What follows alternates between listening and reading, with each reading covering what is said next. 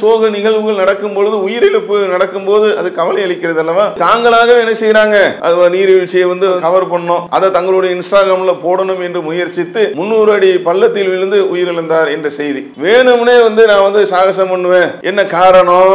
Like மோகம் தான் செய்தியும் சிந்தனையும் என்ற இந்த நிகழ்ச்சியில சாகச வீடியோக்கள் போடுவதால் பல சோக நிகழ்வுகள் வருந்ததக்க செய்திகள் நடந்தவண்ணம் இருக்கிறது. இன்றைக்கு நாம் வாழக்கூடிய இந்த காலகட்டத்தில் ஃபேஸ்புக்கு இன்ஸ்டாகிராமு இது மாதிரி இன்னும் சமூக வலைதளங்களில் தங்களுடைய சாகசங்களால் நிறைய வந்து லைக்குகளை பெற வேண்டும் மக்கள்லாம் அதிகமாக பின்தொடர வேண்டும் என்கின்ற அந்த அடிப்படையில் பல நிகழ்வுகளை சாகசம் என்ற பெயர்களை நிகழ்த்தி பரிதாபமாக உயிரிழந்த நிகழ்வுகள் குறித்து தான் நாம் இன்று பார்க்க இருக்கிறோம். கடந்த வாரம் நடந்த நிகழ்வுகள் என சமுதாயத்தில் இன்றைக்கு இளைஞர்கள் அதுபோல இளைஞர்கள் மாணவர்கள் எல்லாம் என்ன நினைக்கிறாங்க அப்படின்னா எங்க சென்றாலும் ஆபத்தை உணராமல் ஒரு வித்தியாசமான முறையில் வீடியோ எடுத்து உடனே தங்களுடைய அந்த ஃபேஸ்புக்கில் இன்ஸ்டாகிராமில் அனுப்பி அதுக்கு ஏராளமான லைக்குகள் கிடைக்க வேண்டும். இதனுடைய விபரீதம். அதனால தான் நம்ம இந்த செய்திகளை ஒரு விழிப்புணர்வு பதிவாக நாம சொல்கிறோம். கடந்த வாரத்தில் நடந்த நிகழ்வு மட்டும் பாருங்களேன். எவ்வளவு வருந்தத்தக்க ஒரு செய்தியாக இருக்கிறது? முதல்ல சீனாவில் பான் ஜியோடிங் என்று சொல்லக்கூடிய பெண் யூடியூபர் இவங்க என்ன பண்ணுவாங்க அப்படின்னு பார்த்தீங்கன்னா அவங்களுடைய அந்த யூடியூப் பக்கத்தில் வாடிக்கையாளர்களை கவர்வதற்கு வித்தியாசமான ட்ரெண்டிங் வந்து பண்ணணும் அப்படின்னு சொல்லி அதை உடலுக்கு பசிக்கு தேவைக்கு சாப்பிட்றதும் ஒன்று இருக்குங்க. ஆனா இது என்ன அப்படின்னா வித்தியாசமா செய்யணும் அப்படின்னு ஒவ்வொரு நாளும் பத்து கிலோ எடை கொண்ட அந்த உணவை வந்து உட்கொள்ளக்கூடியவர்களாக அதை தங்களுடைய யூடியூப் பக்கத்துல வந்து போடக்கூடியவர்களாக அவங்க வந்து இருந்தாங்க. அந்த பெண் யூடியூபர் கடைசியில் என்ன ஆச்சு? இப்படியே வந்து தினமும் நடந்து அதனுடைய அறிகுறியாக அவருடைய உடல் எடை வந்து அதிகரித்து அப்பவும் அவங்க வந்து அதை கைவிடலை. ஒரு கட்டத்தில் இதே மாதிரி நிகழ்ச்சி நடந்து கொண்டு இருக்கும் போது அதிகமான உணவை வந்து உட்கொண்டு லைவா வந்து போட்டு கொண்டு இருக்கக்கூடிய நேரத்திலேயே மயங்கி விழுந்து அவர் உயிரிழந்தார். அப்படின்ற செய்தியை நம்ம பார்க்க முடியுது. கடந்த வாரத்தில் நடந்த ஒன்று சீனாவில் அவ என்ன மருத்துவர்கள் என்ன சொல்கிறாங்க சரியான முறையில் உணவு வந்து என்ன செய்யலை? செமிக்கலை. செரிமானம் ஆகாததால் அதனுடைய விளைவாக இந்த மாதிரி வந்து உயிரிழப்பு ஏற்பட்டு இருக்கிறது விஷயம் புரியுதா உங்களுக்கு? அதாவது உயிர் என்பது விலை மதிப்பற்றதுன்னு எல்லாரும் அறிந்து வைத்திருக்கிறோம்.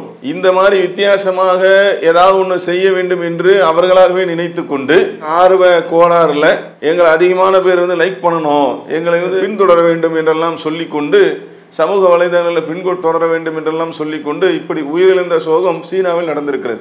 அடுத்து பார்த்தீங்க அப்படின்னா மும்பையை சேர்ந்த பெண் இன்ஸ்டாகிராபர் அவங்களுடைய வேலை என்னன்னு பார்த்தீங்கன்னா சுற்றுலா தலங்களை சென்று மக்களை எல்லாம் அழைத்து கொண்டு போகக்கூடியது. அதே மாதிரி சுற்றுலா தலங்கள்ல வித்தியாசமான இடங்கள் இருக்கும்ல. அந்த மாதிரி இடங்கள்ல நின்று வீடியோவாக்கி தங்களுடைய இன்ஸ்டாகிராமில் வந்து போடுறது. இந்த மாதிரி ஒரு வேலையை வந்து அவர்கள் செய்து கொண்டிருந்தார்கள். இதுவும் கடந்த வாரம் நடந்த நிகழ்வு. மும்பை மாநிலம் பூனே என்ற பகுதியில் உள்ள ஒரு நீர்வீழ்ச்சி. ஒரு வித்தியாசமான முறையில். அந்த நீர்வீழ்ச்சியிலிருந்து தண்ணி எங்கேருந்து கொட்டும் இல்லைங்களா?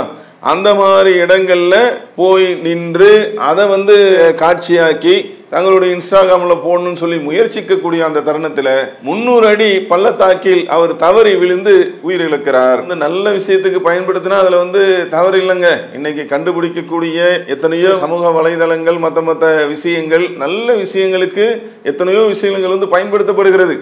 ஆனால் அதை தாண்டி இந்த மாதிரி வருந்தத்தக்க ஒரு நிகழ்வும் நடந்து கொண்டு இருக்கிறது அதுதான் நமக்கு கவலை அளிக்கிறது. அதெல்லாம் சொல்வதற்கு காரணம் என்னன்னு பார்த்தீங்கன்னா இதில் வந்து ரொம்ப வேகமாக இதை நோக்கி செல்லக்கூடிய மாணவ சமுதாயம் அதே போல வந்து இளைஞர்கள் இணைனிகள் இவங்கெல்லாம் வந்து என்ன நினைக்கிறாங்க? இதில் ஒரு சந்தோஷம் அடைகிறார்கள் மன மகிழ்ச்சி அடைகிறார்கள். ஆனால் அதெல்லாம் ஒரு பக்கம் இருந்தாலும் இந்த மாதிரி சோக நிகழ்வுகள் நடக்கும் பொழுது உயிரிழப்பு நடக்கும்போது அது கவலை அளிக்கிறது அல்லவா?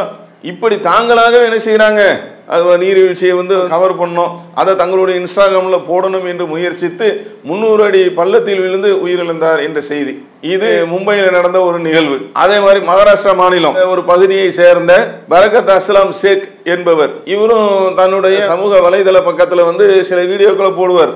ஓடுற ட்ரெயின் இருக்கு பார்த்தீங்களா அதில் வந்து சாகசம் பண்ணுறது இப்போ பொதுவாக நம்ம எல்லாருமே சில இடங்களில் பார்த்துருப்போம். படிக்கக்கூடிய மாணவர்கள் இருந்து காலேஜ் படிக்கக்கூடிய மாணவர்கள் இருந்து என்னது ஃபுட்பால் அடிக்கிறது. இப்போ அதுக்கு படிப்படியாக என்ன செய்து சில இடங்களில் குறைந்து வருகிறது.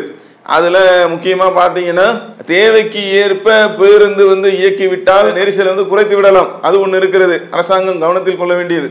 அதை தாண்டி பஸ்ஸுக்கெல்லாம் வந்து டோர் போட்டாங்க. அதனால அது படிப்படியாக குறைந்து வருகிறது. இதில் இவரு வித்தியாசமாக என்னன்னா ஓடுற ட்ரெயின் இருக்கு பார்த்தீங்களா? அதில் வந்து சாகசம் வந்து செய்கிறது அப்படியே தொங்கிக்கிட்டே போகிற மாதிரி அப்படியே தொங்கிக்கிட்டே வரா மாதிரி. இப்படி சாகசம் என்ற பேரில் இவர் வந்து தொடர்ச்சியாக என்ன செய்கிறாரு இந்த மாதிரி செய்து செய்து தன்னுடைய சமூக வலைதள பக்கத்தில் வந்து அவர் பரப்பி விடுகிறார் போட்டுக்கொண்டு இருக்கிறார் ஒரு கட்டத்துல பாத்தீங்கன்னா ரயில்வே துறை அதிகாரிகள் காவலர்கள் போலீசார் இருக்காங்கல்ல இந்த மாதிரி ஒரு இளைஞர் தொடர்ச்சியாக செய்யறாரு அப்படின்னு சொல்லி அவர் மேல புகாரை கொடுத்து சரி ஆளை நம்ம வந்து எச்சரிக்கை செய்யணும் அப்படின்ற மாதிரி ஒரு கைது செய்யணுன்ற மாதிரி ஒரு முயற்சி எடுத்து போகும்போது அவங்களுக்கு ஒரு தகவல் கிடைக்குது. ரயில்ல சாகசம் செய்யும் பொழுது தொங்கிக் கொண்டு போகும்போது கடுமையாக விபத்துக்குள்ளாகி அவருடைய ஒரு காலும் ஒரு கையும் கடுமையாக சிதைந்து அதை அகற்ற வேண்டும் என்று மருத்துவர்கள் சொல்லி இன்றைக்கு வீட்டில் இருந்து கொண்டிருக்கிறார். இது இதெல்லாம் வந்து பார்த்தீங்களா விபத்து மத்த மத்த விஷயங்கள் நாம யோசிக்காம திடீர்னு ஏற்படுற ஒன்று இருக்குல்லங்க. அது தனி. நமக்கும் அதுக்கும் எந்த விதமான சம்மந்தமும் இல்லாமல் நம்ம எல்லாமே பாதுகாப்பு விஷயங்களை வந்து பயன்படுத்தி இப்போ வண்டியிலலாம் போகிறாங்க ஹெல்மெட் எல்லாம் வந்து அணிந்து கொண்டு அரசாங்கம் சொல்லக்கூடிய இப்போ காரில் போகிறாங்கன்னா சீட்டு பெல்ட் எல்லாம் போட்டுக்கொண்டு அதை தாண்டி ஒரு விபத்து நடக்குது அப்படின்னா வந்து அது வந்து ஒரு எதார்த்தம் அதையும் வந்து பாதுகாப்பான பயணமாக நாம் அமைத்துக் கொள்ள வேண்டும். இதெல்லாம் பாத்தீங்க அப்படின்னா புரிந்து கொள்வதற்காகத்தான் நம்ம இப்படி சொல்றோம். ஒரு விழிப்புணர்வு வர வேண்டும் சமுதாயத்தில். தாங்களாகவே தேடி செல்வது. ரயில்ல தொங்கலாமாங்க? சாகசம் செய்யலாமா? ஓடுற ரயில்ல. அங்கேயே என்ன சொல்லுவாங்க? ட்ரெயின் நின்ற பிறகு பிளாட்ஃபார்ம்ல பயணிகள் இறங்க வேண்டும். அப்படி தானே வந்து சொல்றாங்க. ஓடுற பஸ்ல இருந்து இறங்கக்கூடாது. அப்படிதானே சொல்றாங்க. வேணும்னே வந்து நான் வந்து சாகசம் பண்ணுவேன். என்ன காரணம்? லைக் மோகம்தான். இது என்னைக்கு எப்படி ஆயிடுச்சு அப்படின்னா நாங்கள் போடக்கூடிய அந்த வீடியோக்கு தாங்கள் போடக்கூடிய அந்த போட்டோக்கு எத்தனை பேர்கள் லைக் செய்கிறார்கள்? இது ஒரு சந்தோஷமாங்க. இது வந்து ஒரு ஒரு மன மகிழ்ச்சியா நல்ல விஷயங்களை பதிவிட்டு அந்த கருத்துகளால் ஈர்க்கப்பட்டு அதை வந்து லைக் பண்றாங்க அப்படின்னு அது தனி. படிப்பு சார்ந்த விஷயங்கள் கல்வி சார்ந்த விஷயங்கள் அறிவு சார்ந்த விஷயங்கள் இப்படி இருக்குல்ல? இதையெல்லாம் போட்டு நல்ல விஷயங்களை போட்டு அதை லைக் பண்ணுறாங்கன்னா அது தனி. இப்படி சாகசம் என்ற பேரில் இந்த மாதிரி லைக்குக்கு ஆசைப்பட்டு இத்தனை பேர்கள் எங்களை பின்தொடர வேண்டும் என்று ஆசைப்பட்டு கடைசியில் தங்களுடைய உயிரையும் நீர்த்திருக்கக்கூடிய இந்த சம்பவங்கள் சீனாவில் ஒன்று நடக்குது. எல்லாம் போன வாரத்தில் அதிகமாக வந்து சாப்பிட்டு சாப்பிட்டு செமிக்காமல் அவங்க உயிரிழக்கக்கூடிய நிகழ்வு மும்பையில் ஒன்று நடக்குது. உயரமான அந்த நீர்வீழ்ச்சியில் போய் நான் வந்து படம் எடுக்கிறேன் என்று சொல்லி அவங்க வந்து உயிரிழந்த ஒரு நிகழ்வு. இவர் வந்து ரயிலில் வந்து சாகசம் செய்து மகாராஷ்டிராவில் இவர் கால் கையை இழந்த ஒரு நிகழ்வு. இப்படியாக இந்த மாதிரி நிகழ்வு நடக்காமல் நாம் அனைவரும் விழிப்புணர்வாக இருக்க வேண்டும். பெற்றோர்கள் தங்களுடைய பிள்ளைகளுக்கு சொல்ல வேண்டும். ஆசிரியர்கள் மாணவர்களுக்கு சொல்ல வேண்டும்.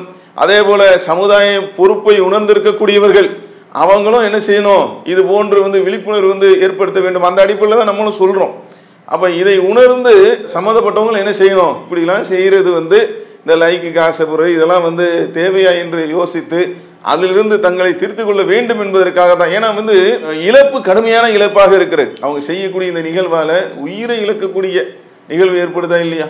கை காலை இழக்கக்கூடிய நிகழ்வு ஏற்படுதா இல்லையா? இது தேவையா? அப்போ இதை சிந்தித்து இதிலிருந்து என்ன செய்யணும்?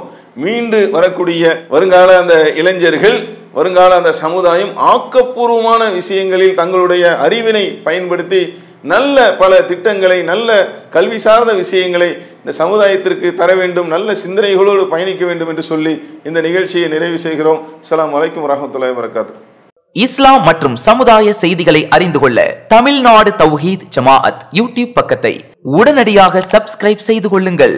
மேலும் பெல் பட்டனையும் கிளிக் செய்து கொள்ளுங்கள்.